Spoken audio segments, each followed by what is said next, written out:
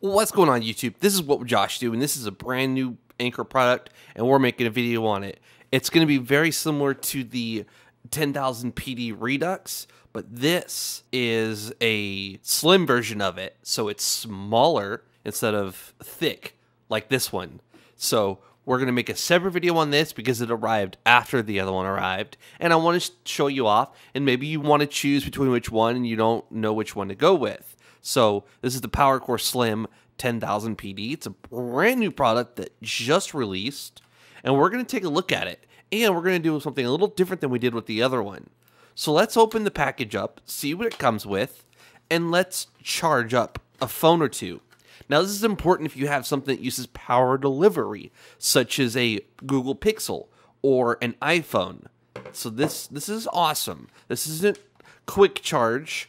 This is freaking power delivery. So you're going to get the fastest charge speed possible on some devices. So it includes a decent sized little Type C cable.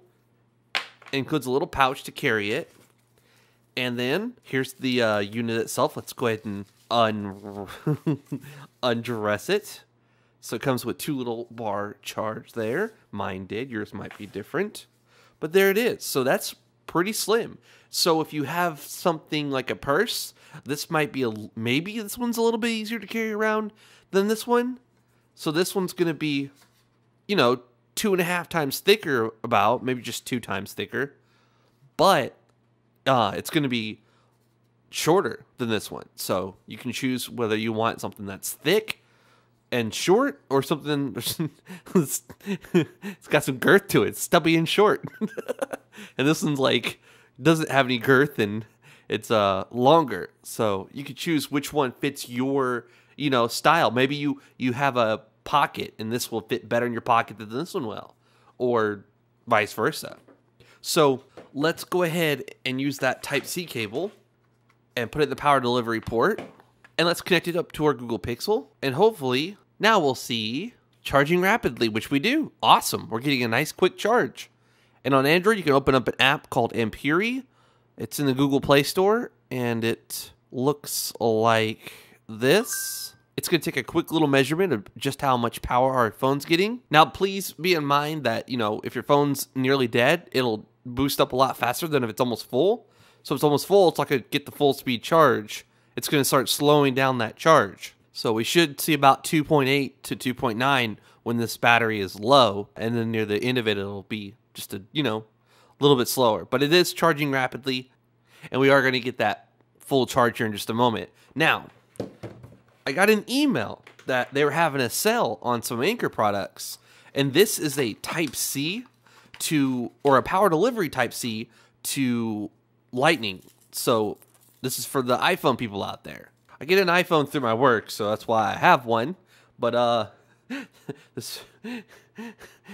Anyways, there you go. So one end's going to be Type C for the power delivery port, and the other end's going to go into the bottom of our iPhone. We just plug it in and now we're getting that charge. So what we're going to do is since we don't have an app that'll measure the charge, what we're going to do is it's at 40% at 3:20 in the morning and we're going to go ahead and give it 30 minutes.